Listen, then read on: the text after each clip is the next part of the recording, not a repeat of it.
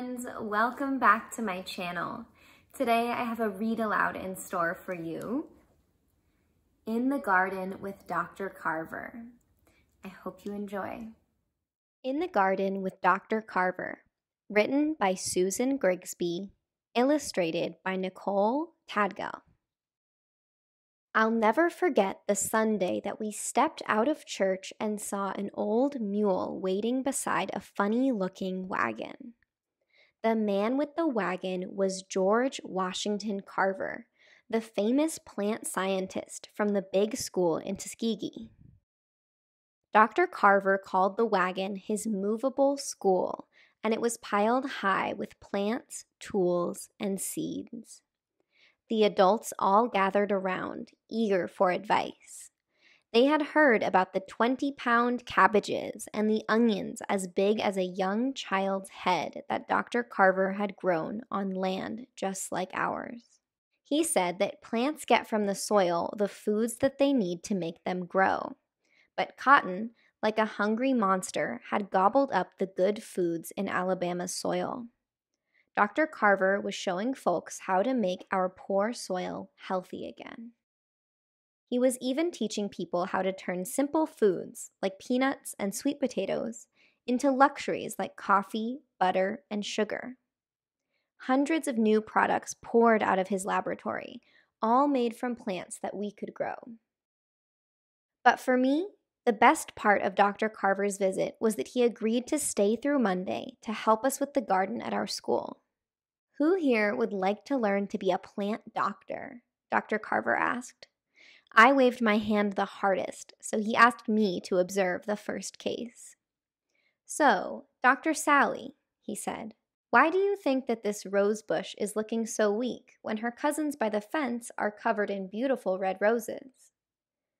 I don't know, I admitted. What should I do first?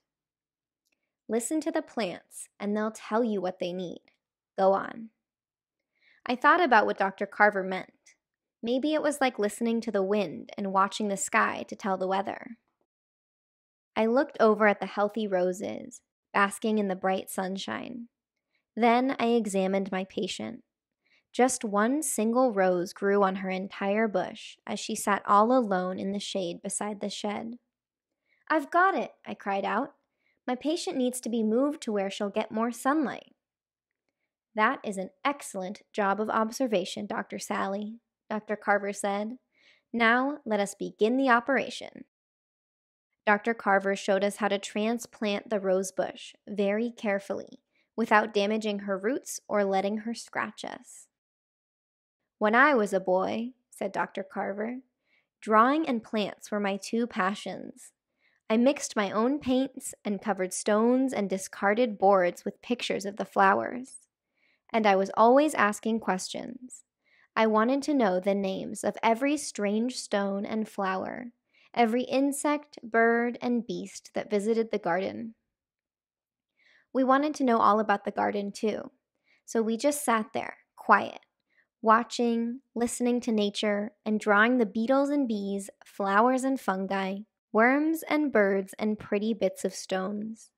I never knew our garden was such a busy place and Dr. Carver knew the names of everything.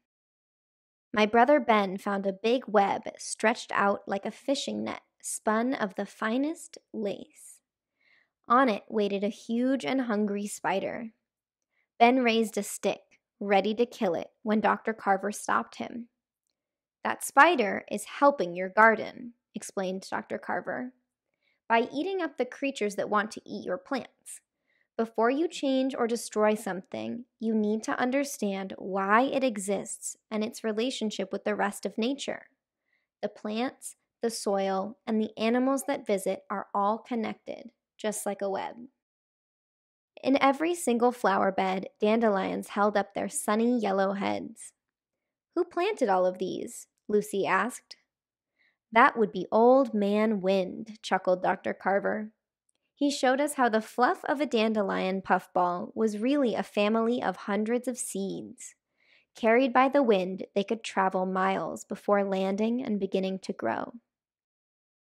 A plant is a weed if it's growing uninvited, we learned. Those greedy dandelions were taking food, light, and water from the flowers that our teacher, Miss Simpson, had planted. Dr. Carver showed us how to remove the dandelions, pulling them up by their long and hungry roots. We saved their youngest leaves for our lunchtime salad. Dr. Carver said that we should eat all of the fruits and vegetables that we could. By then, we were as hungry as a pack of wild dandelions. Miss Simpson and the older students had cooked a delicious spread of picnic food using recipes invented by Dr. Carver. After every bit was gobbled up, they told us what we'd eaten sweet potato flour bread, chicken made from peanuts, and a salad of strange wild weeds. And for dessert, peanut ice cream and cake. After our feast, Dr. Carver said that it was time to plant our own kitchen garden. We followed him to the lot behind our school. This spot is no good, Emmett said. It's sunny, but the soil's rock hard. See? It won't budge. He's right, I said. Nothing ever grows out here, not even weeds. And nothing ever will, unless we improve this worn out land, said Dr. Carver. Plants, like people, need nutritious food to help them grow. Dr. Carver took us to a patch of forest near our school. We scooped up buckets full of rich and leafy loam. While we worked, he explained how rotting plants were full of good things to feed healthy plants. Leaf mulch, swamp muck, and the decaying roots of peanuts, peas, and beans will all enrich the soil, he said. You can make your own fertilizer too. I'll leave Miss Simpson my recipe for compost. Paper shreds, vegetable scraps, anything that breaks down quickly will put nutrients back into the soil. So much of what people waste can be put to good use. We cleared the plot of stones, spaded and hoed, chopped and raked, turning and mixing into the soil the forest humus we'd gathered. We worked that soil until we had a fine, rich field. Then we divided it into plots. We planted sweet potato slips and peanuts, snap beans, lima beans, cowpeas, squash, okra, and melons. Dr. Carver asked us to show him the nearest dump. We found wood scraps to use for our plant markers and a raggedy headed mop to make into a tall scarecrow.